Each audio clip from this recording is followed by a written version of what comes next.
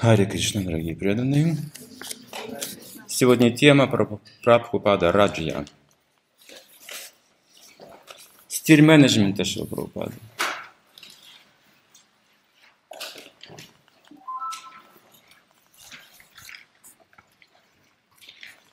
Очень интересная тема, потому что нам предстоит воплощать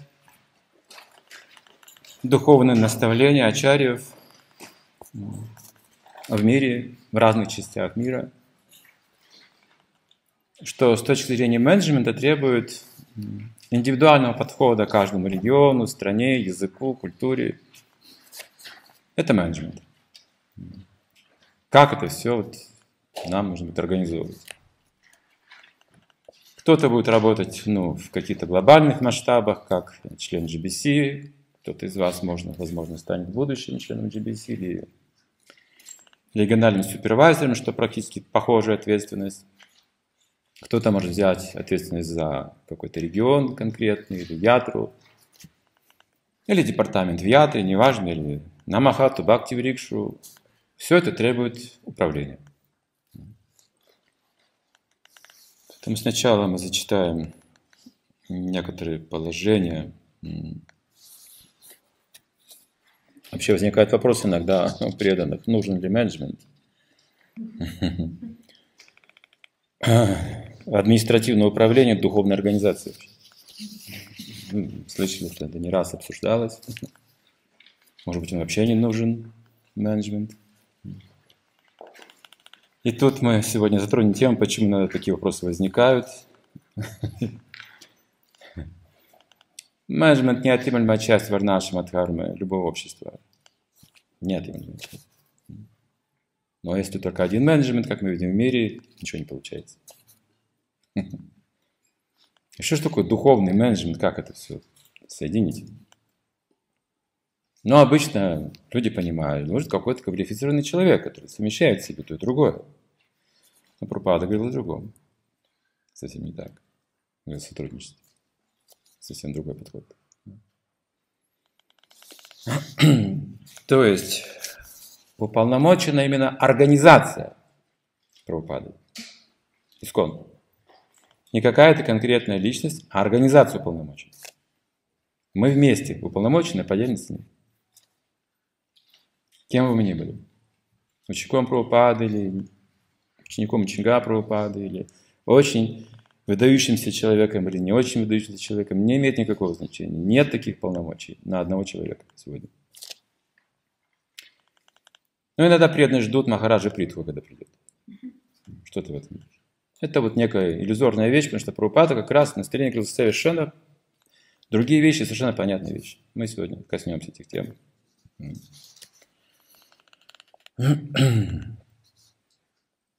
Итак, тут есть цитаты о том, что Менеджмент – это тоже преданное служение. Это тоже преданное служение. Это, как знаете, женщина тоже человек.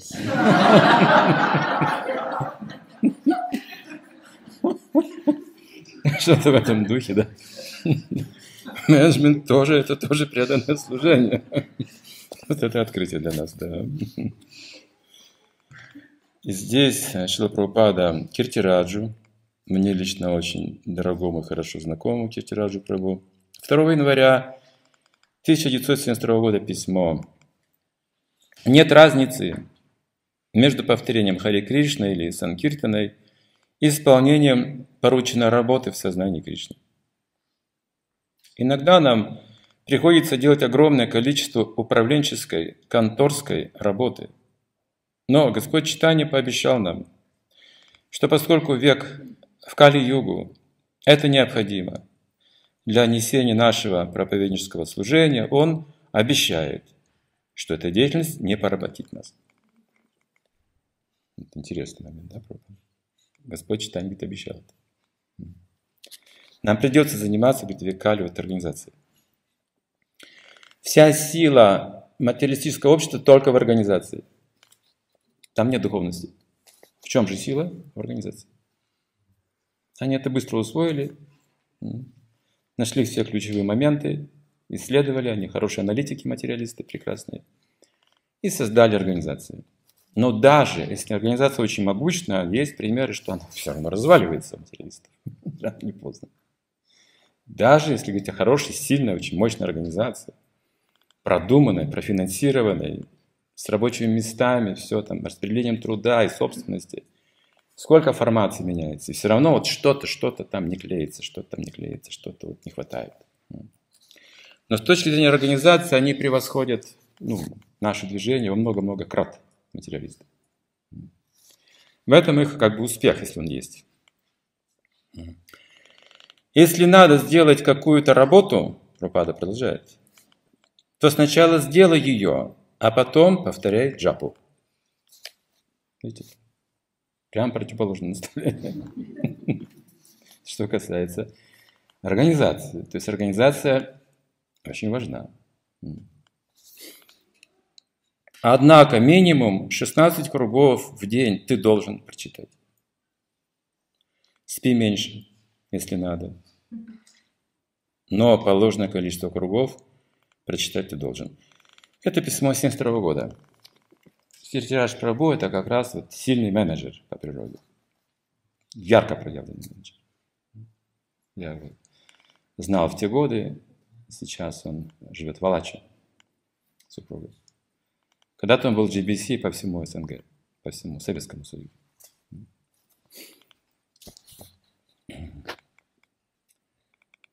Свобода в менеджменте, ох ты. Свобода в менеджменте, это тоже преданное служение.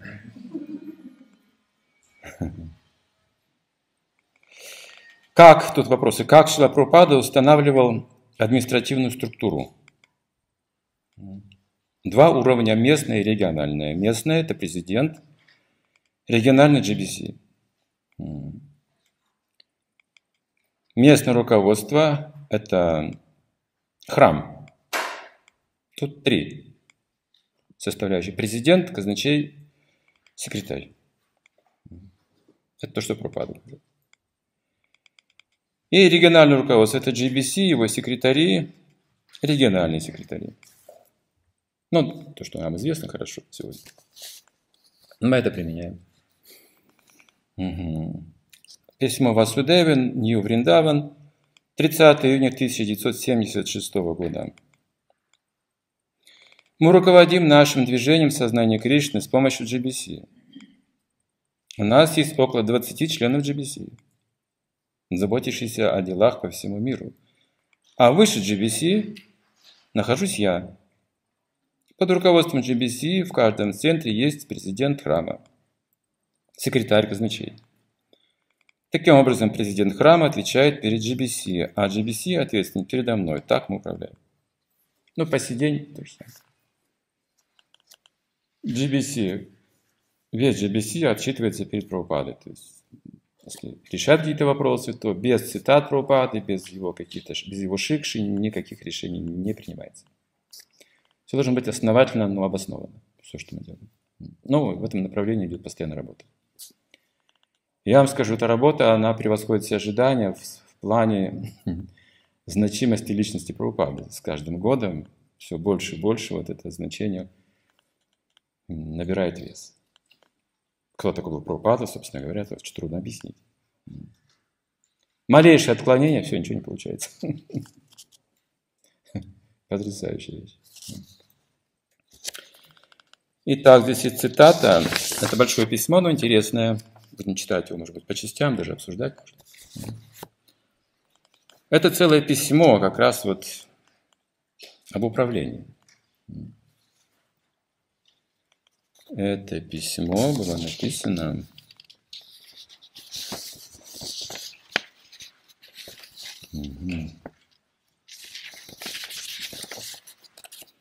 Карантхари 22 декабря 72 год.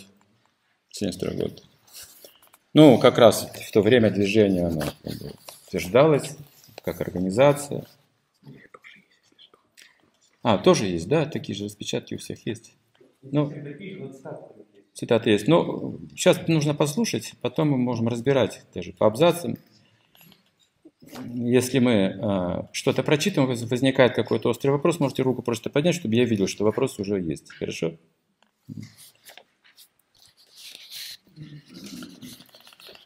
Я слышал от Джая Тиртхи, что ты строишь грандиозные планы по централизации управления, налогов, денег, корпоративного статуса, ведения отчетности, кредитования и тому подобное.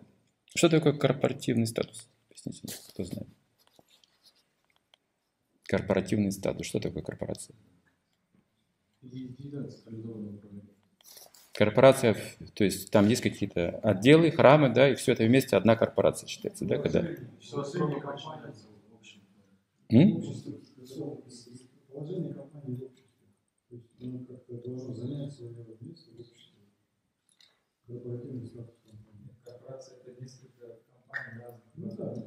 В одной организации, да? Под одним управлением, так скажем. Разные, да, вот корпорации.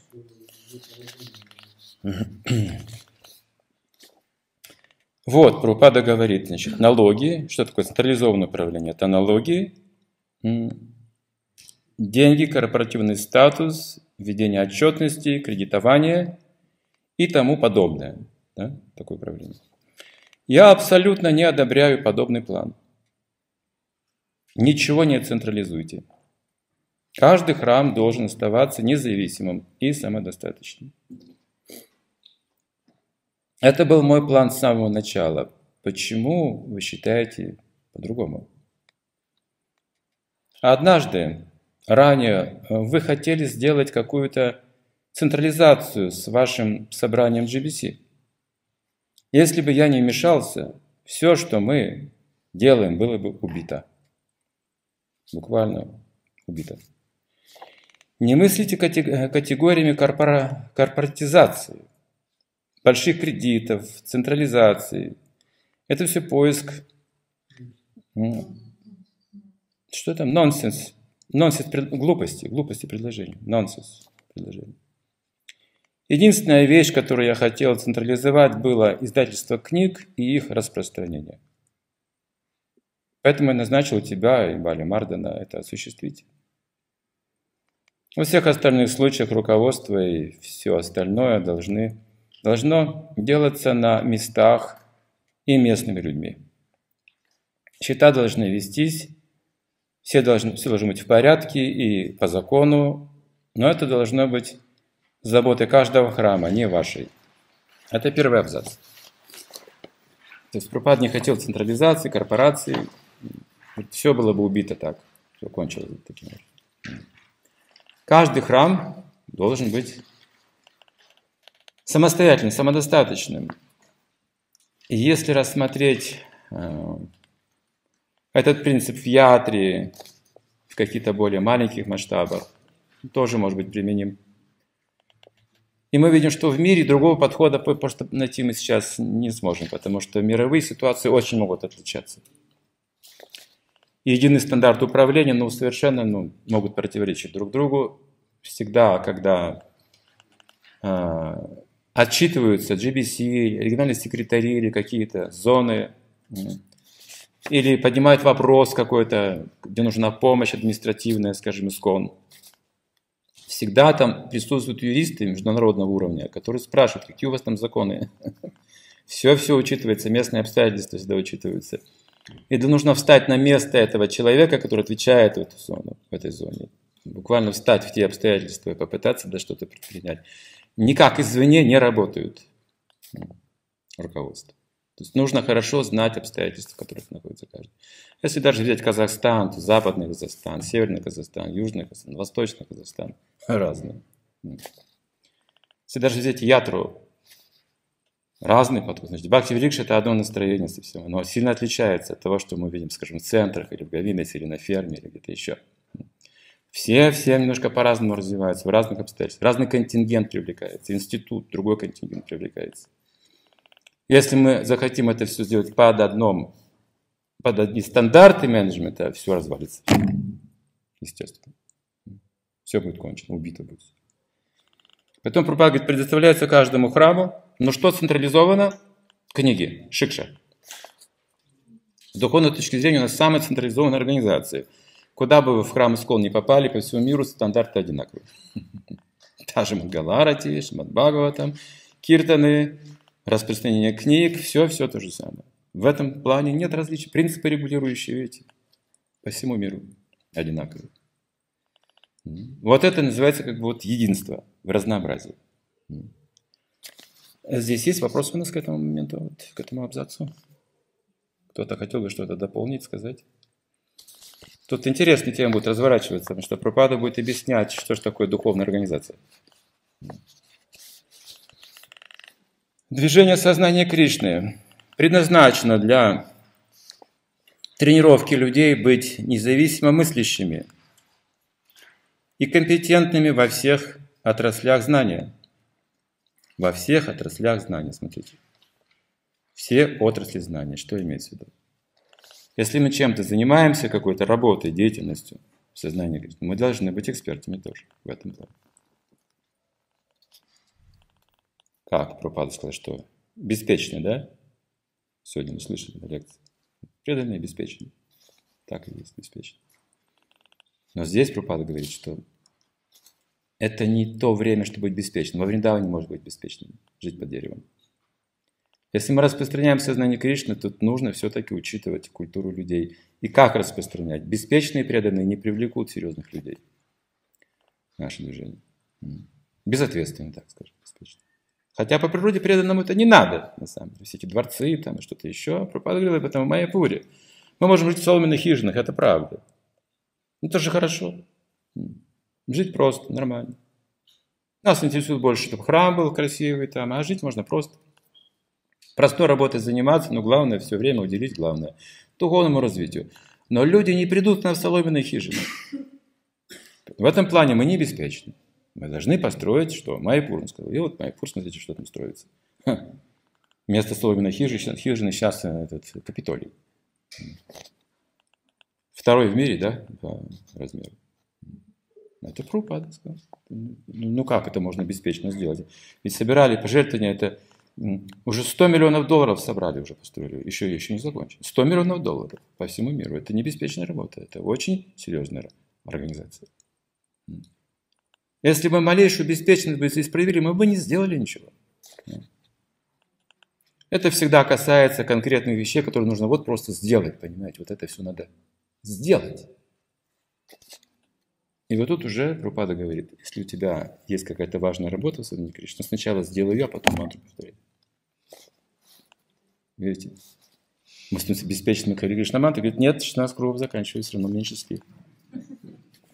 Нет компромисса тут. Это что касается развития организации.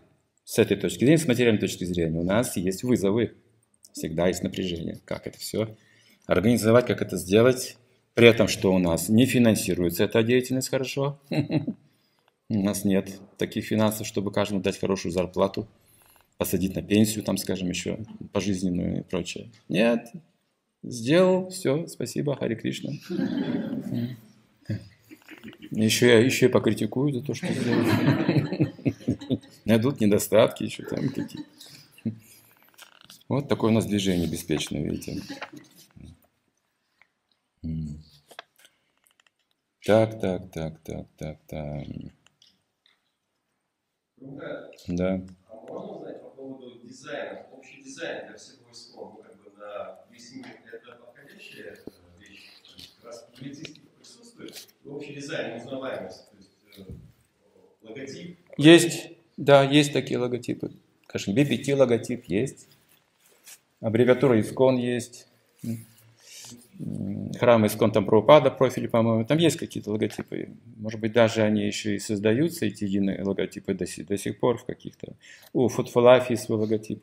То есть, я имею в виду, что единение в этом нормально? То есть, э, чтобы... А чтобы узнавалось, да, это нормально. И, иногда это ненормально, потому что если кто-то знает, что Футфлайф кришнаитская сектантская организация, можем поменять логотип где-нибудь в другом месте. Э, мы же преследуем не организацию, а духовную организацию, проповедь. Наша задача суть не утрачивать. Формы иногда можем менять. Да? Есть герб. Что есть? Герб. Герб. Герб? Да, там какой-то щита, четыре атрибута Вишну и ленточка Кришна Ну, это да. Надо где-то его здесь укрепить. Хорошо. Движение сознания Кришны предназначено для тренировки людей быть независимо мыслящими и компетентными во всех отраслях знания и действия, а не для разведения бюрократии. Как только появится бюрократия, все будет испорчено. Всегда должны присутствовать индивидуумы, старающиеся, работающие и ответственные, соревновательный дух не так, что кто-то должен доминировать и распределять блага другим, а они ничего не делать и только просить вас, а вы предоставлять. Это централизация, недостатки централизации. Нет, не беспокойтесь о сложностях регистрации каждого центра, налогов, сертификатов, становления отдельных корпораций в каждом штате. Не беспокойтесь о сложностях. Это натренирует людей делать все, все эти вещи самостоятельно. И они разовьют надежность и ответственность в этом суть. Надежность в этом суть. Почему Пропад так уверен, что они разовьют все это? Сейчас узнаем. А вдруг не разовьют? Я GBC, понимаете? Я же ответственный. А вдруг они не разовьют? Нет, надо какие-то стандарты утвердить, чтобы я был спокоен. Отчетность и все остальное. Хотя в этом ничего плохого нет в отчетности. Но почему Прабхупад так уверен и так доверяет этим вот новообразовавшимся центрам, вот, вот только новоиспеченным центрам, еще без опыта какого-то большого? Я иногда наблюдаю, теперь, особенно в вашей стране, ну тут мы слушаем внимательно, что, что наши люди теряют энтузиазм по распространению нашей программы движения сознания Кришны. Иначе почему приходит так много писем о проблемах?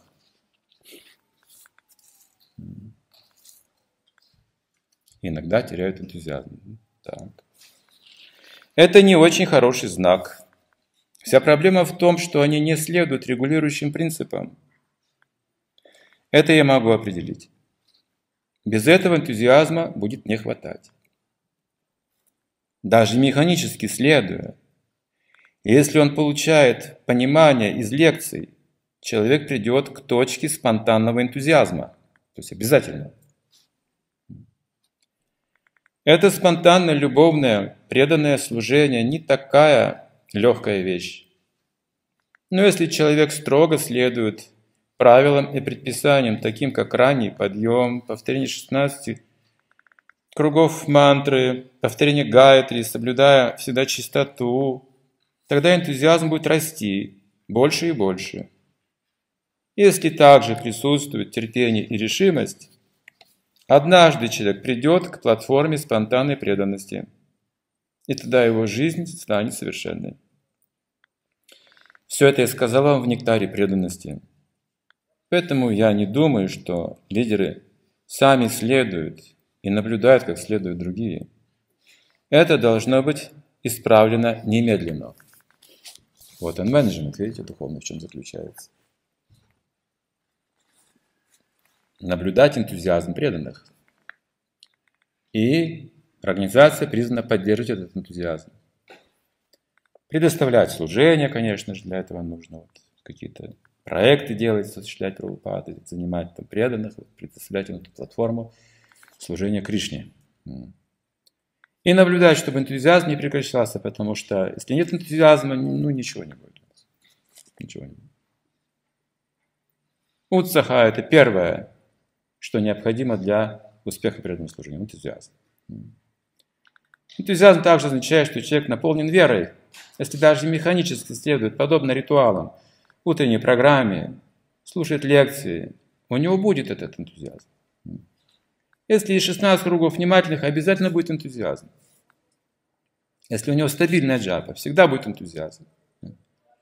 Конечно, энтузиазм можно гасить какими-то зрелищами там в интернете, допустим, если человек проводит время какое-то там, он, конечно, будет притормаживать, гасить энтузиазм. Ему будет труднее джапу, наверное, повторять, ум будет более беспокойный, несомненно, это так. Но за этим нужно следить. Это руководство. Что преданные больше были сосредоточены на преданном служении. Как? Ну, наше движение должно быть привлекательным для этого очень. Наши организации, отношения, проекты, вдохновляющими, привлекательными и еще успешными. Есть такие материалисты, которые не занимаются им зрелище даже некогда посмотреть. Они, сколько успешно развиваются, они так поглощены, знаете, что это не нужно все это. Все глупости все. Ну и даже согласны в отпуск не уезжать, работают с утра до ночи вообще. Там успех, успех, дела идут, развиваются, у них там... если у нас не будет такого развития, такого успеха, будет только бюрократия, все будет кончено. Здесь есть у нас какие-то дополнения или обсуждения? Угу. Угу. Да, еще вопрос. Руководство должно следить за тем, чтобы преданные изучали свой садху, да, и, и двигались в направлении преданного служения, вот так? А не то, что они там делают, делают, но все равно энтузиазм них появится, и они будут подключаться к служению, если за этим да, здесь Пропада как раз будет писать об этом, как этот энтузиазм поддерживать, что должны делать лидеры для этого. Духовные лидеры, как решают такой вопрос. Мы же не можем приказать всем соблюдать регулирующие принципы. Причем это настолько индивидуально, да, есть начинающие преданные, есть опытные преданные, есть преданные, которые ну, больше имеют проблем в уме, и другие меньше имеют проблем в уме. Разные природы, это тоже требует индивидуального подхода. Опять же, не централизованного такого подхода, как вот мы думаем. Да? Централизованный подход был однажды в четырех регулирующих принципах, жесткий. Мы находились в этом а, настроении, может быть, лет 15 первые. С одной стороны, это приносило неплохие результаты, потому что люди становятся очень деятельные, очень смелые становятся люди. Да, стражей, целебат. Стены проломят. С другой стороны, очень жесткие, конфликтные. Все независимые лидеры. И еще была третья сторона, когда те, кто не мог соответствовать целебату, ну, совершали ужасные вещи хирургически, хирургическим путем. Это мы даже не потом узнали, мы даже не знали, что кто-то в тайне решался на такие вещи, потому что в этом как бы гвоздь программы считалась такой, то есть передавили этот момент. Это не было индивидуально сделано, это было наложено на всех такое, знаете, тяжелое такое вот наставление. Монашество, стопроцентное монашество. Для греха, для брамачари, для всех. Для женщин, для всех. Начинающих, неважно. И потом, как признали уже позже эту ошибку, что было ну, передавлено несколько в этом плане, поэтому пострадали люди. Некоторые. Это все руководство, поймите. Это тоже духовный менеджмент. Если мы не учитываем как бы вот эти индивидуальности, да, то мы не сможем руководить как. Централизация как раз, она вот разрушает индивидуальность некую, подход индивидуальный. Либо бывает, что менеджер перегружен так, что он не может за всем следить. Естественно, не может. Что же делать? Давайте посмотрим, что тут Пропада пишет дальше. Каждый центр должен остаться не, не, независимым. И с этим будет все в порядке, но президенты и другое руководство должны сами следовать и смотреть, чтобы другие аккуратно следовали регулирующим принципам и давали им хорошие наставления, так, чтобы они хорошо поняли, почему эта аскеза необходима. Вот, видите, о чем речь? О знании идет речь. Это преданным тоже нужно, даже не новичкам. Понимание, насколько важны регулирующие принципы. Что это такое? Почему эта аскеза так необходима для нас? Какие плоды мы получаем от этой аскезы? Очень важно, важно напоминать об этом. Это тоже руководство. И GBC и саньяси должны ездить и смотреть, как руководители делают это. Если не наблюдают подобное понижение стандартов, они должны исправить и дать советы. И, или если есть разногласия, я должен буду исправить их. Конечно, если приходят новые люди, от них не ожидается, что они будут сразу принимать нашу, наши регулирующие принципы на 100%. Поэтому мы не должны быть так настойчивы, чтобы вдохновить их жить в храме. Каждый, кто живет в храме, должен согласиться следовать правилам и предписаниям без сбоев.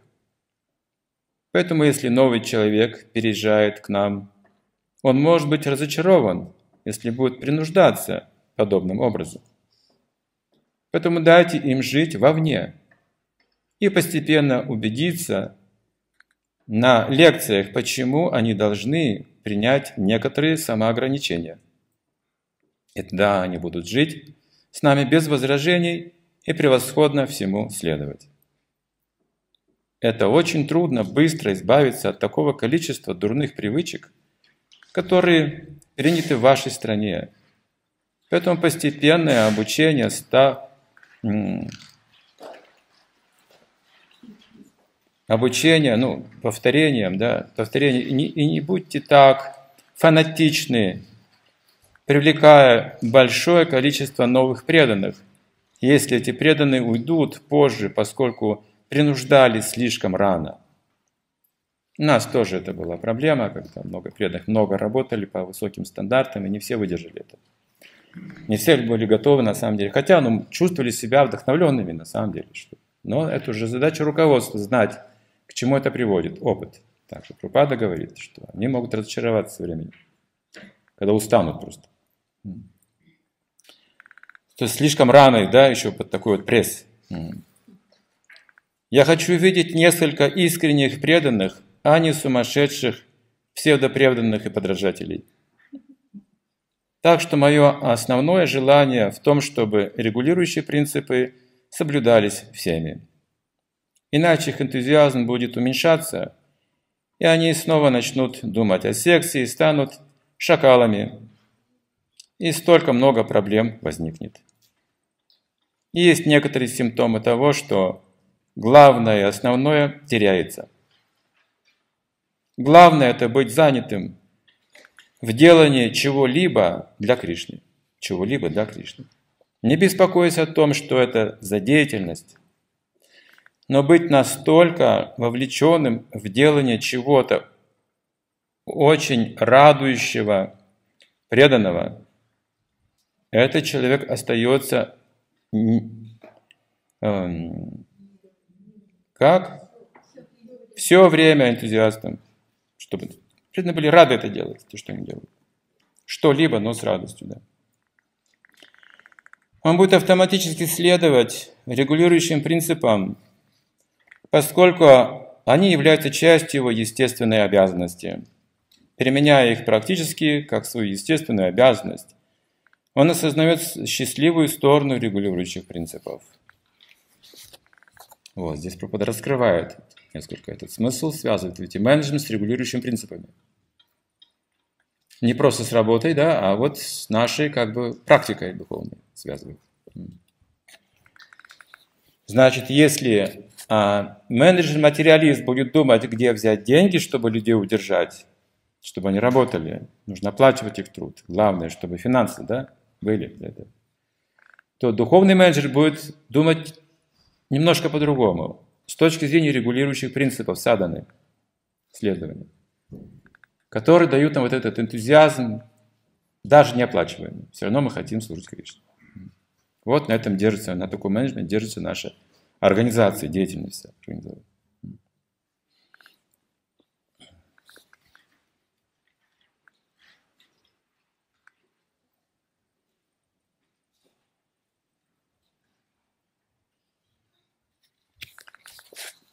В Майпуре, я не помню, как это был год, пошел на рынок. Это был не рынок, ну, рынок преданных имеется.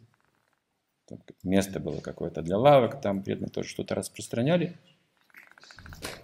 И там был этот преданный из Италии, GPC, задним прилавком BBT. Был. Палатка его была такая. И там э, вот такая вот Бхагавадгита распространялась большая.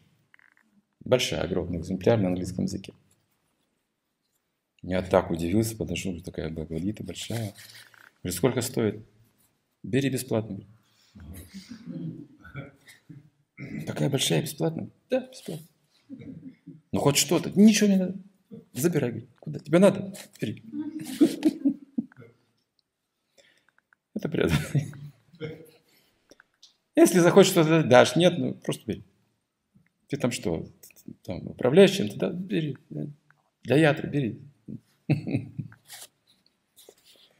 Это преданные. Они хотят распространять. Да.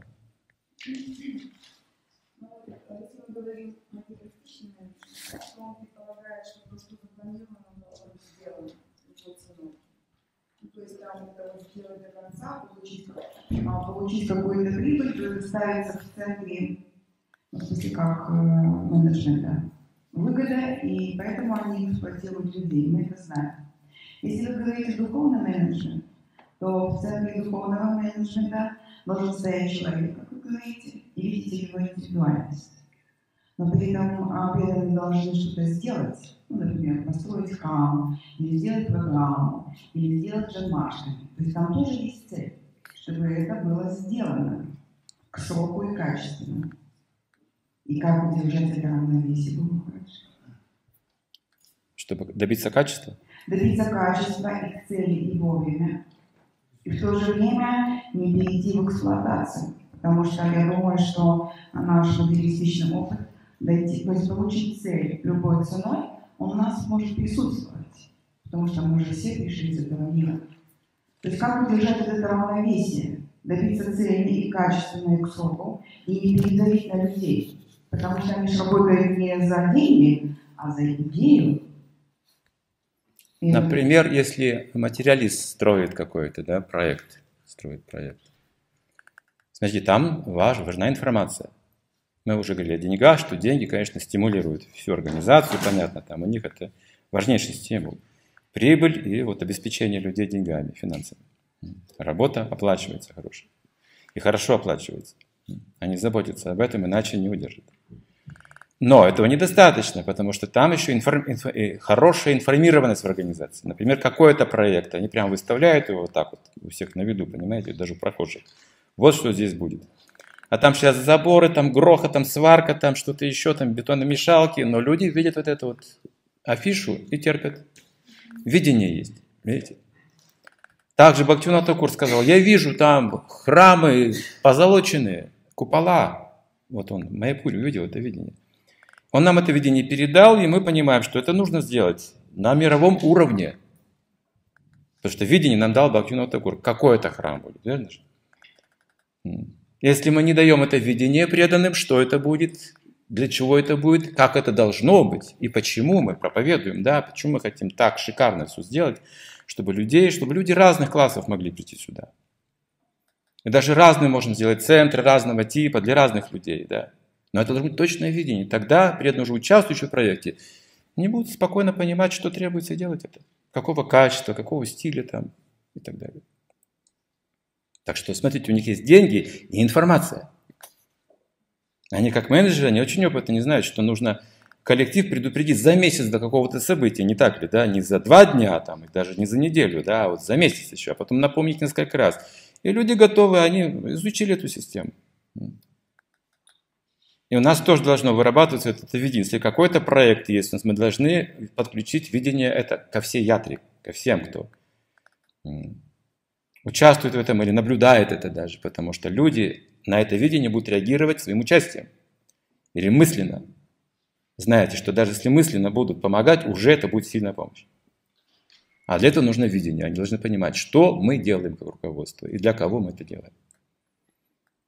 Что-то мы должны делать прямо для преданных, что-то должны быть прямо для людей, что-то для проповеди, что-то для связи с общественностью, разные проекты. И везде нужно видение, четкое понимание, что мы делаем, информация.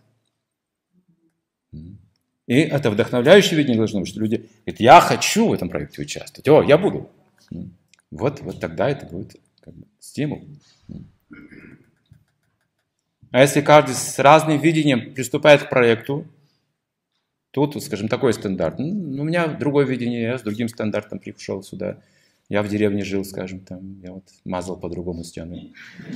И тут я мажу а деревня, тут, значит, у меня два рака, приходит менеджер э, преданный и ругает кого-то. Ну, в чем я виноват? Я старался. Просто я не понимал, что нужно делать по-другому. Мне как-то не довели до, до моего сознания. Когда ферма началась, только мы сидели с Гавина Махараджем, он собрал старших всех преданных там на улице. Они только начинали, еще не было ничего построено. И что-то обсуждаем там у нас, как этот проект развивать там и так далее. Вот. И вдруг огромное дерево, карагач, неподалеку, валится с грохотом, падает. С грохотом, значит, треск, шум.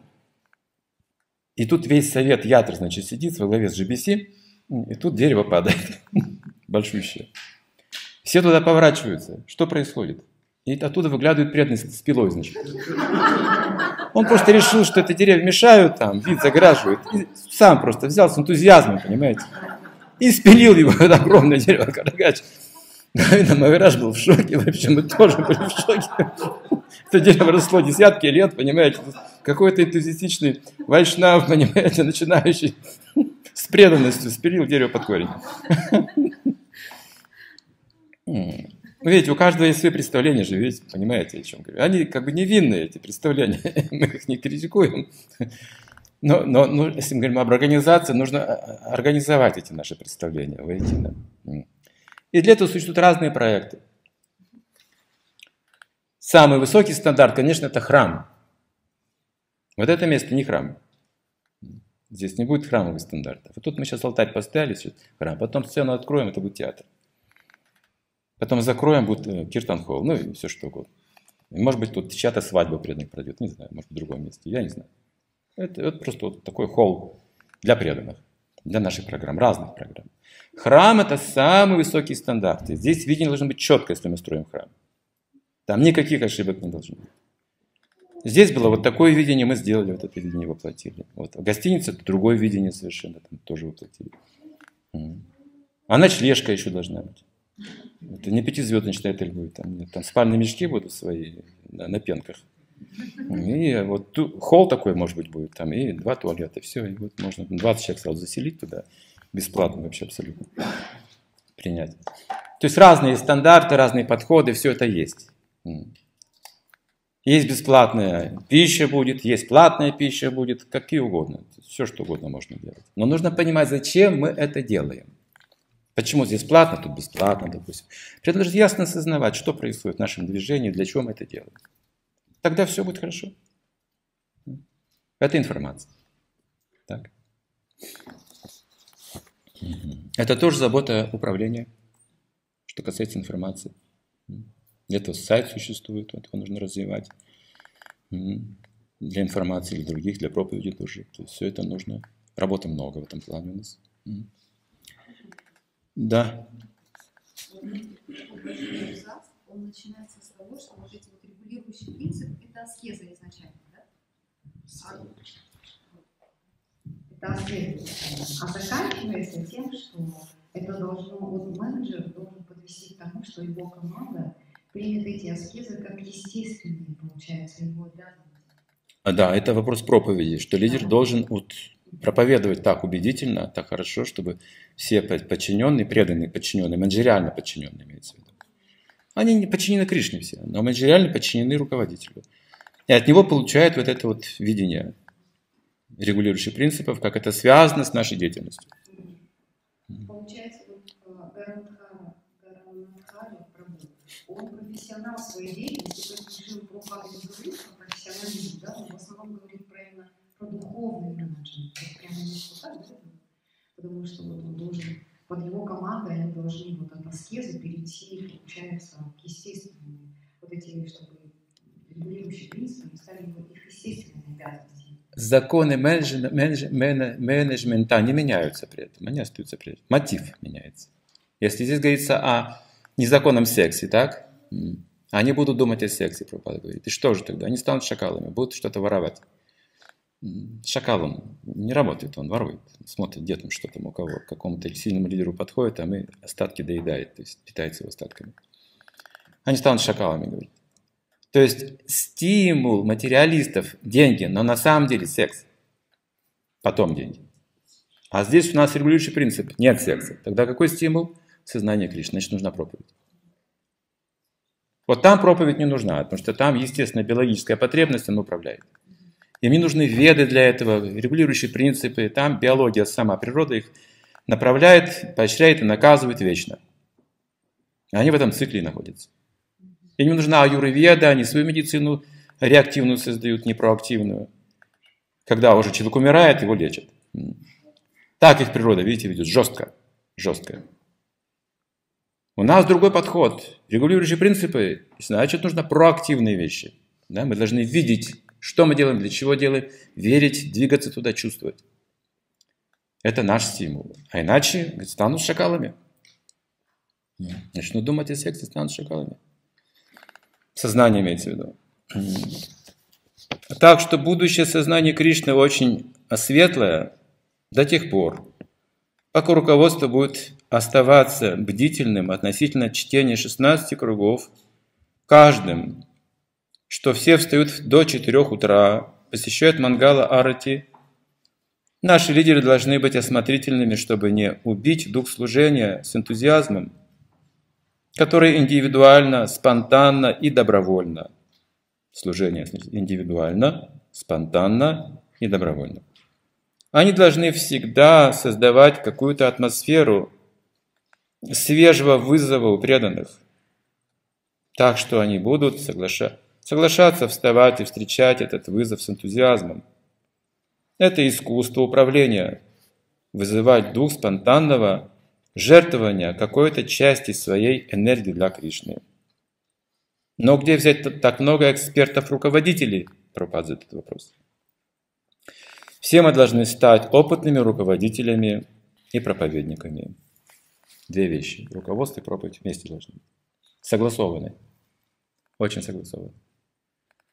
Любой руководитель, когда, он приезж... когда приезжает саньяси, гуру приезжает, обычно руководитель объясняет, что тут, какая, какая обстановка здесь у нас, в нашей ятре или в этой общине. О чем бы хотел вот попросить руководитель проповедника говорить, какую тему раскрыть. Пожелания свои всегда говорит. О чем сейчас преданные думают, какие у них сложности сейчас возникают, скажем, много работы, да, сейчас у них там сжапать сложно, там они иногда устают, а нам нужно все равно трудиться, как-то закончить все это. Вот они уже выжигаются, помогайте нам, пожалуйста. Вот. Нам сейчас трудно. Или у нас тут мнения расходятся сейчас, очень острые проблемы возникают в отношениях. Вот, пожалуйста, в этом тоже помогите. Вот такие, такие есть противоречия. Все это выкладывается менеджером, также конкретно об учениках, если он говорит духовному учителю, которых он знает, что он знает. И проповедник слушает и проповедует в этом направлении, чтобы как-то это все примирить, как бы вот, вдохновить, поднять на духовный уровень. Значит, менеджеры, они всегда будут сталкиваться с трудностями, потому что все трудно сегодня делать в Кали-югу. Все трудно сделать. Нелегкая работа. Руками преданных мы почти ничего не сможем сделать. Руками преданных. Мало что можем сделать. Что преданный быстро устает, если у него там плохая джапа, недостаточно вдохновения, он все, он себя плохо чувствует. И он может терпеть до какого-то лишь предела, а потом не может терпеть. Если нет какого-то еще материального стимула, да. Поэтому нужно находить различные способы, как осуществлять наши проекты. Как все это выстраивать технически, как людей нанимать иногда нужно будет, не преданных совсем. Просто людей нанимать, бригады какие-то создавать. Разные способы есть. Но преданных надо беречь. Да, есть ли какая-то здесь у нас тема? А, то есть это искусство, да, управление, вызывать дух спонтанного жертвования какой-то части своей энергии для Кришны. И вот он говорит, где же взять таких руководителей? Все мы должны стать опытными руководителями и проповедниками. Мы не должны гнаться за комфортом или становиться самодовольными. Вот, сделали, теперь мы довольны. Нет. Всегда должна присутствовать какая-то тапасия. Твердо придерживаться регулирующих принципов сознания Кришны всегда должно быть вызовом. Большое достижение будет обретено добровольным желанием делать это, и мы будем стараться держать это настроение здоровым. Так что вы, большие руководители, должны стараться тренировать больше и больше компетентных проповедников и руководителей. Таких, как вы сами. Забудьте о централизации и бюрократии. Это письмо Карантхари, 22 декабря 1972 год. Ну, можно немножко обсудить эту тему, пожалуйста. Микрофон сюда.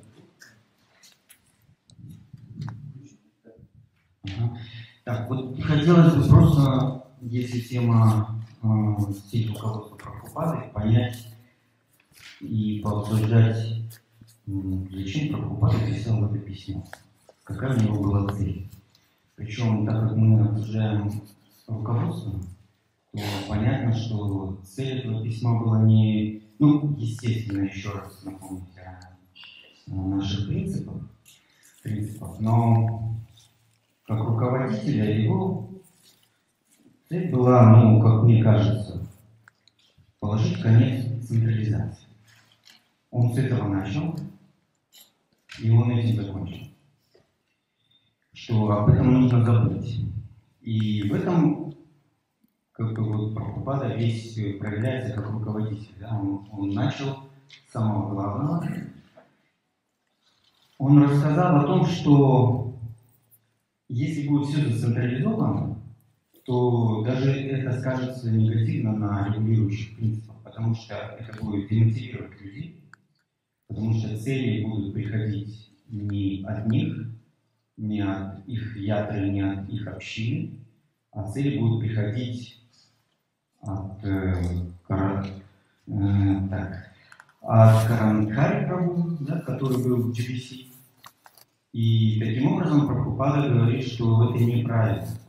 И тут, с одной стороны, Прабхупада делает, он вообще построил, он был глобалистом, да, один из первых глобалистов, вот, уровня пепси-колы, кока-колы.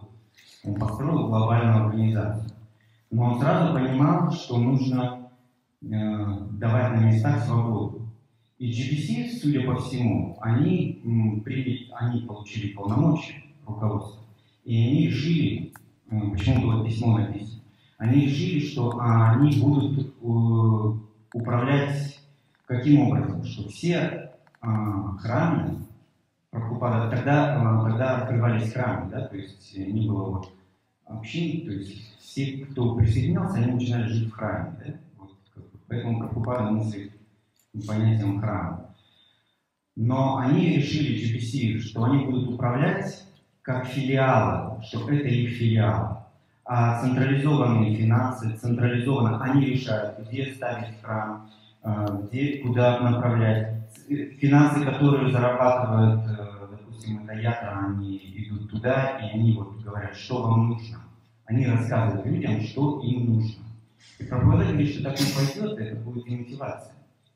И преданные сами должны э, э, регистрировать свое общество, заниматься всеми проблемами, заниматься конфликтами, которые здесь происходят, и, и решать это вот все. И это вот поле деятельности, которое нам дается для того, а, чем занять свое время между соблюдением регулирующих принципов и чтением джапа. То есть вот это вот э, ну, не должно уходить наверх. И таким образом мы здесь понимаем, что Прабхупада, он переплыл океан, и как бы начал это движение а, для того, чтобы создать искон, а не для того, чтобы создать GPC. GPC была создана после, и GPC для искона, для того, чтобы просто-напросто это не развалилось все именно с духовной точки зрения. И он в середине вот письма это и дает задание, да? То есть вы должны следить за стандартом, который нас объединяет.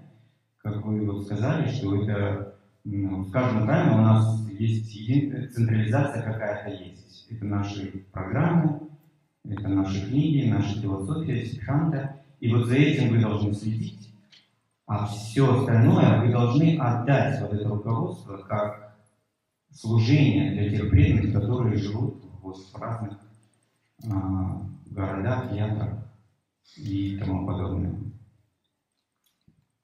Все. Давайте обсуждаем дальше эту тему. У кого есть какие еще? Я хочу еще раз сказать, вот меня лично задело то, что вот было сказано. Где же взять так много экспертов, руководителей? Продолжаю, да? И здесь Прабхупада пишет, не знаю, перевод такой, я ничего не понял там, как-то не особо понятно, он, вы должны, вы должны, должны, но все-таки, смотрите, мы руководители, да, здесь все собрались, и основная задача, как мы здесь видим из письма, это вдохновить своих преданных, да, на то, чтобы они, ну, значит, читали 16 год, 4 лучших принципа, 4 утра вставать, ну, вот то, что написано до этого было, да. И мы знаем, насколько это тяжелое занятие для руководителей, потому что как только ну, каким-то образом начинаешь э, ну, в этом направлении с преданными общаться, то табу. То есть никто тебе не скажет, во сколько я встаю, да? никто тебе не скажет, как я, насколько я читаю потому что там говорят. И еще, может, там обиды быть. И где вот эта вот золотая серединка, и как вот, вот это вот то, что, как вот где взять этих экспертов, или как стать самими этими экспертами, и как стать самими экспертами э, вот в, этом, в этой области, как вот можно было подробно, потому что я, допустим, не понял вот эти фразы, просто по перевод какой там, или я не понимаю, где чего попада объясняет. Где же взять эксперта, когда же он пишет? Давайте попробуем обсудить вместе, да? Но где взять так много экспертов, руководителей? Все мы должны стать опытными руководителями и проповедниками. Это начало, да, объяснения Прабхупады, ответ на вопрос. То есть мы должны, как теперь, да? Мы должны стать такими. Где их взять? Ну, из нас, говорит, из вас, из нас. С вами, он говорит, мы должны стать такими. Больше их негде взять. Не продаются нигде, нет институтов, которые дипломировали бы их. Это вот из преданных должны получить. Как получить теперь? Мы не должны гнаться за комфортом. Это для лидеров очень важное наставление чтобы наш энтузиазм тоже поддерживался, наша духовная сила тоже поддерживалась, мы не должны гнаться за комфортом, раз. Что лидеры, кстати, лидеры могут быть неплохо устроены в жизни, знаете, да? Их поддерживает общество, допустим, там, пожертвования могут давать, как-то заботиться о них. Они заботятся, прежде всего, старшие вайшнавы всегда лидеров созывают, там, как у тебя дела, там, все, могут позаботиться об этом. И вот э, это комфортное может быть положение с этой точки зрения, что человек может быть устроен как лидер, о нем есть забота. Вот и не нужно гнаться за этим комфортом или становиться само, самодовольным, что я общаюсь, скажем, с духовными учителями, общаюсь с GBC, я тут управляю храмами, и вот я на этом уровне имею вот такое общение, на таком уровне я живу. Я доволен этим, и все тоже должны видеть, что я на таком уровне. Могу с гуру общаться лично. А вы вот только через меня. Это тоже самодовольство называется. Вот это нужно остерегаться. Раз всегда должна присутствовать какая-то топасия. То есть лидер на себя должен брать какие-то ну, какие-то усилия очевидные делать. Например, как GBC говорят, если вы духовный лидер, или гуру, или шикша-гуру, или GBC, очень хорошо, чтобы преданные в ятре видели, как вы джабу повторяете, например, вместе. Вместе участвуйте в программах, вместе соблюдайте кадыш, чтобы ну, видели вашу аскезу, видели, что вы вообще делаете, чем занимаетесь. Если пишете книги, то где ваши книги, чтобы преданные видели это все. Результаты вашей какой-то еще аскезы, вашей работы. На виду быть. Это все также очень стимулирует, сближает, как бы вот, одухотворяет, дает силы. А, Твердо придерживаться регулирующих принципов. Вот видите, сознание Кришны всегда должно быть вызовом от лидера это исходит, что у них всегда есть какое-то предложение, какое-то вдохновляющая какая-то вот сила.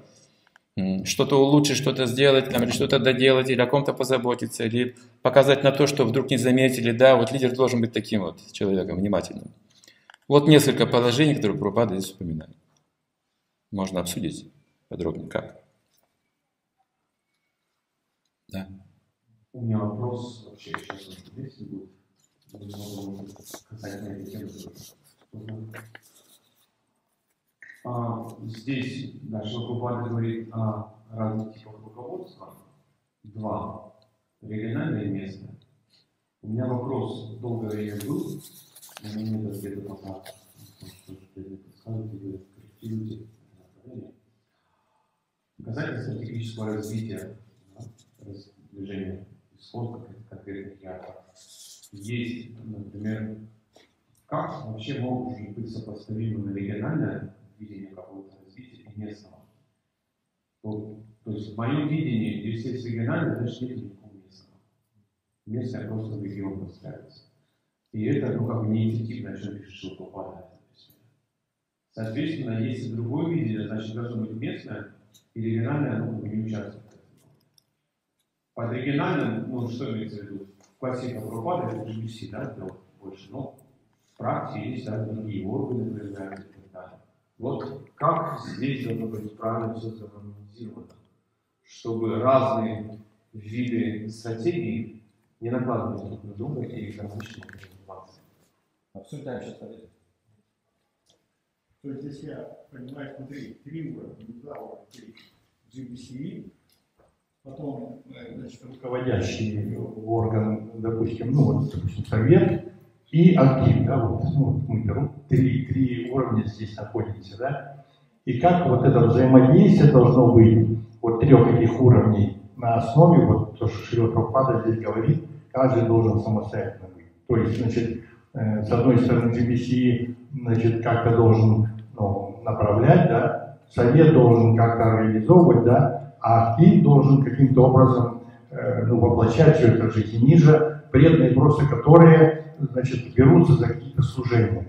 И как вот эти вот уровни, они друг с другом должны работать. С одной стороны, это организация, да, это какая-то структура, а с другой стороны, как мы говорим здесь, э, должны дать самостоятельность каждому преданному, чтобы каждый преданный мог, мог выполнить какое-то служение, да, которое его вдохновляет, как здесь сказано, не важно, какое она, важно, что она его вдохновляет, да? Допустим, с деревом с этим кого-то вдохновило дерево да, и никто не знает. Вот. Я немного другое имел в виду. Вы как бы придали такой ракурс вертикальный, а я вот имел в виду немного горизонтальный ракурс, да, что и так, и так. Если на местное, оно не важно, там, как внутри местном все происходит, но вот оно одно целое. Да? А есть что-то, что не местное, и оно как бы вот ездит повсюду, да? Приезжает и говорит, вот вам нужно вот так жить. Да, я понял, да? Да, уровни, да, все равно они как-то В общем, вот в обсуждении как-то они все равно пересекутся. Может, вопрос, что да. Вопрос, например, если Министерство здравоохранения, как Ахазан Махарадж может сказать, тогда какой-нибудь, надо всем преданным три фунта. И... Нам скажет, как будет. Ну, а регионально, например, там, скажем, ну, сами решайте, или какие-то такие моменты, это как вот это учитывать, то есть если... Ну, то есть вопрос, может ли кто-то со стороны сказать тебе, как тебе жить? Да, ну это же вопрос именно, это же руководство GBC, это же вот кто-то, например, из министерства, из комитета GBC, кто может рекомендацию дать или какой-то... Так вот, рекомендация, да? Ну, либо, либо рекомендация, либо прямое наставление. Спасибо.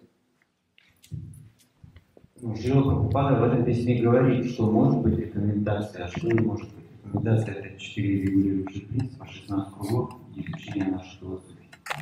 Если кто-то говорит, что всем нужно пить трифалу, это странное заявление. Неважно, какую должность он занимает. Просто странное заявление. Больше ничего.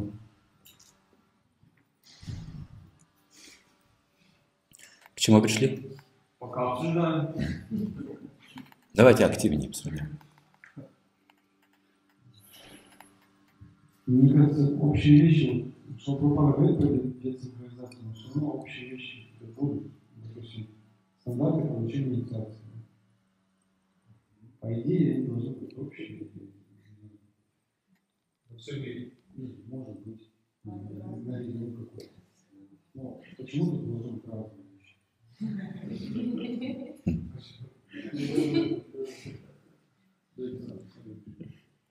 Нет, это потому что у нас как бы стандарты отличаются от всего региона, и у нас свои могут быть стандарты.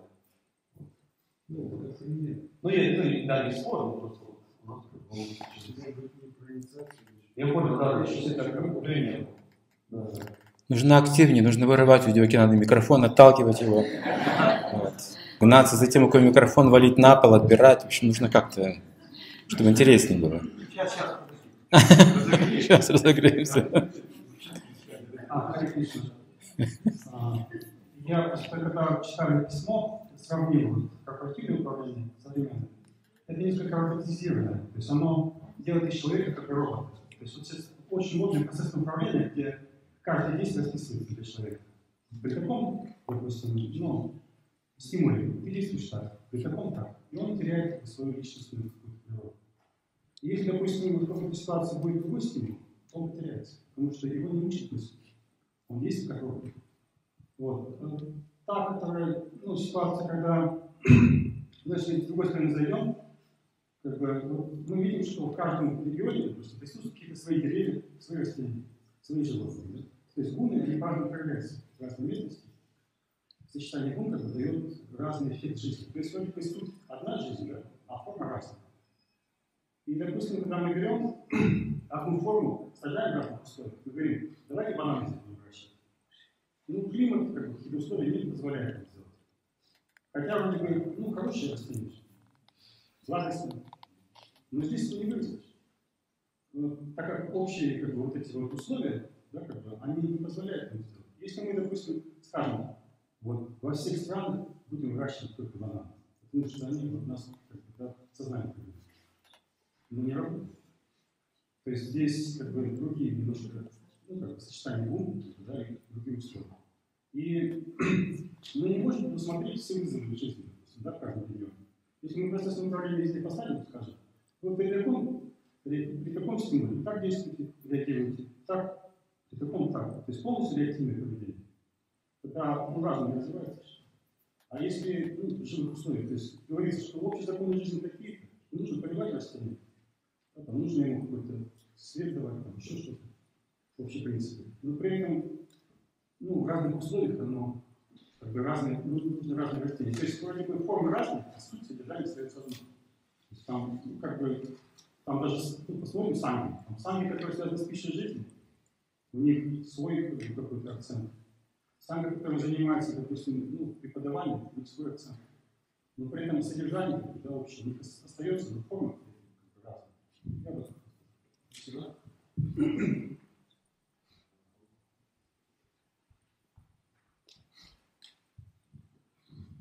Спасибо. Глеб. У нас получается уже двух направлениях мы должны мысли, да, как минимум. А, на вопрос Лариты Галины. Мне кажется, вот на вопрос Лариты Галины, вот как руководить, действительно невозможно спросить человека и сказать, а сколько ты кругов читаешь, а сколько ты стоишь. Это только при каких-то конкретных таких доверительных отношениях. А если ты менеджер, и э, не все люди тебе так хорошо знакомы, и ты понимаешь, что практика у него страдает, поэтому у него нет вот этого энтузиазма. И здесь, э, мне кажется, вот Шила Прабхупада говорит, здесь необходим опыт. Стать опытными руководителями – это ключевой момент. Почему опытными руководителями? В чем я вижу смысл опытного руководителя?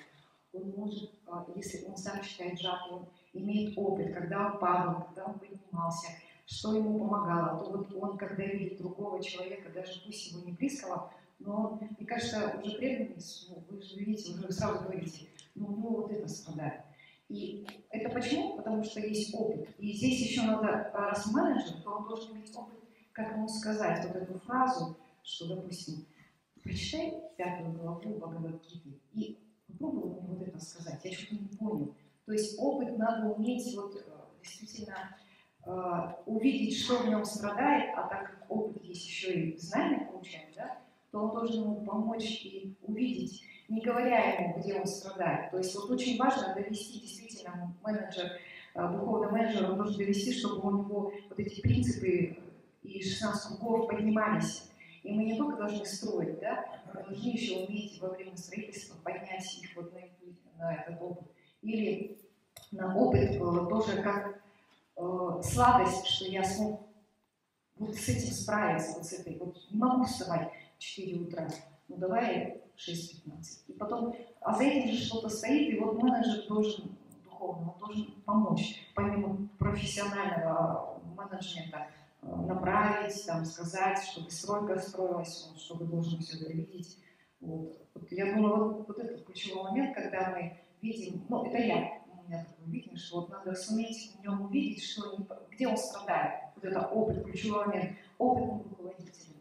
Опытный руководитель, здесь вот можно долго и упорно рассказывать, кто такой опытный руководитель, вот, э, на мой взгляд. Ну и, конечно же, не гнаться за комфортом, становиться само, самодовольным.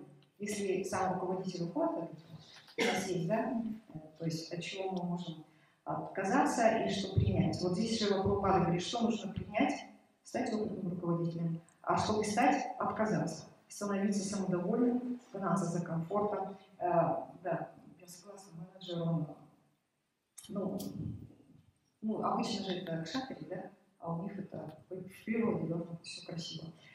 А, ну, вот, что касается вопросов не надо, чтобы вертикаль и горизонталь сходилась, и чтобы не было давления.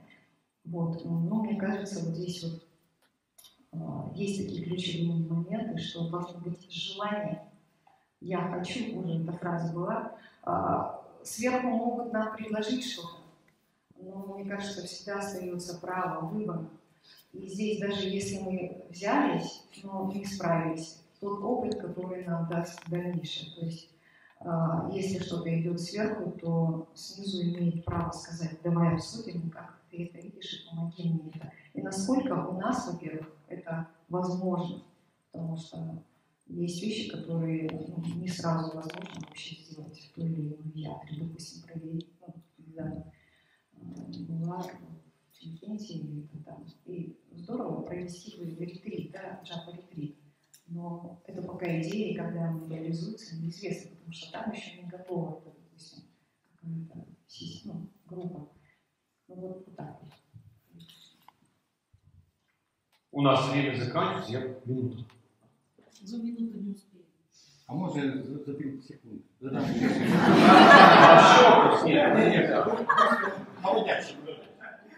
Я быстро. Смотрите, может быть, там спуститься на землю еще ниже. Что бы хотели мы видеть? Актив, совет, GPC, чтобы друг друга вдохновлять. Может, вот в этом направлении мы начнем. Ну, потому что смотрите, это и так.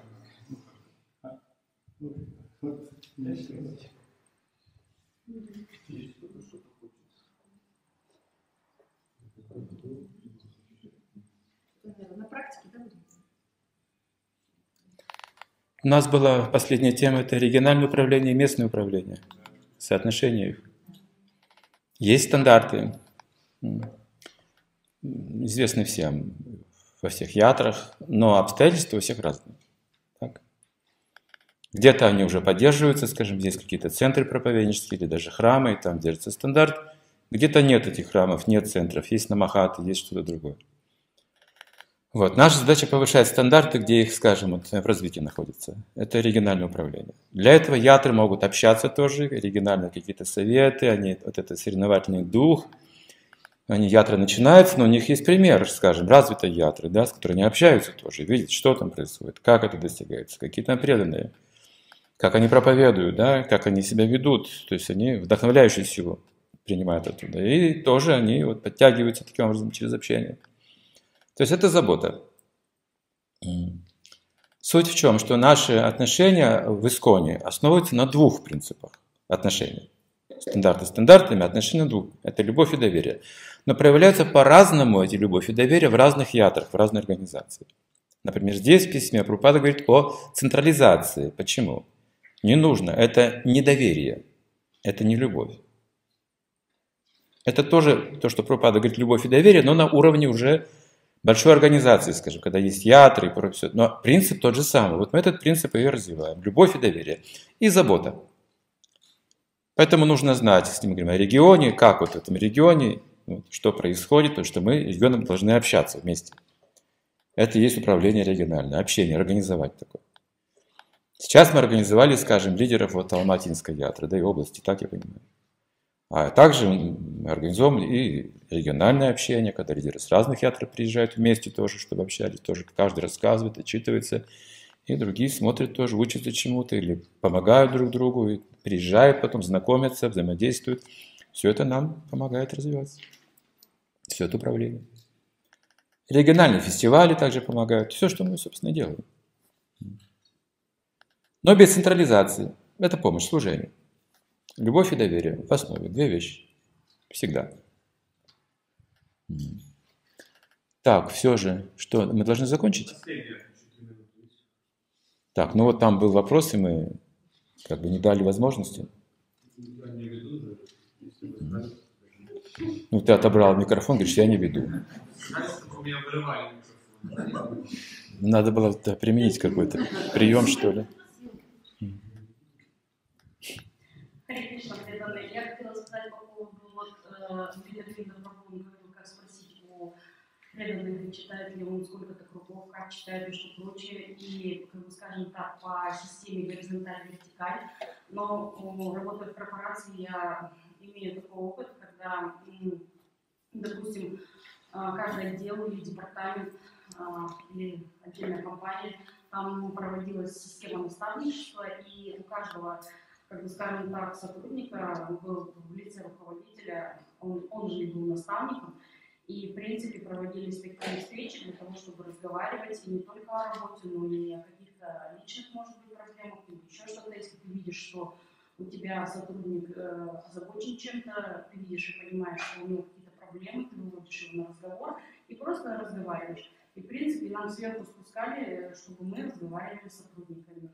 Как бы, скажем так, чтобы человек проговаривал, какая у него и ты уже видишь, как ему можешь помочь. То есть, ну, когда я думаю, что можно у нас тоже как-то это проработать, чтобы можно было на уровне вот как-то доверительных э, отношений э, наставника и э, того человека, который принимает этого наставника, ну, и, как скажем так, вот выстраивать вот эти отношения, чтобы можно было как-то делиться опытом и наставлять да, с помощью шаста, помощью личного опыта, чтобы можно было как-то вот э, донести до человека, что он должен, допустим, улучшить свою садину.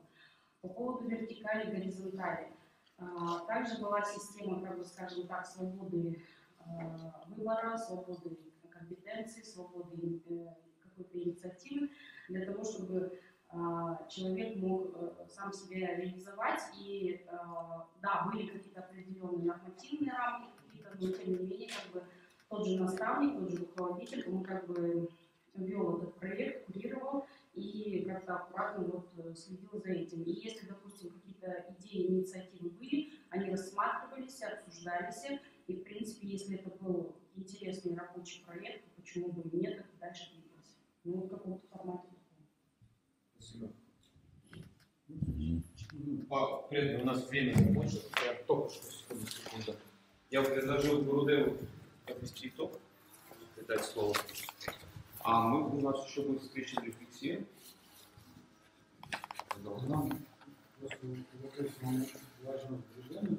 Да.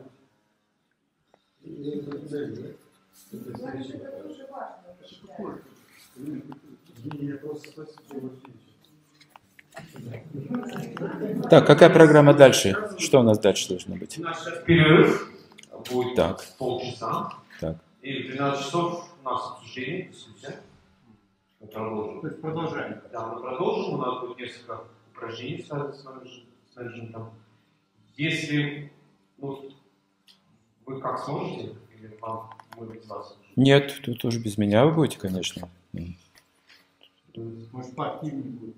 Да, а то все молчат, смотрят на меня. Что... Лучше мне уйти.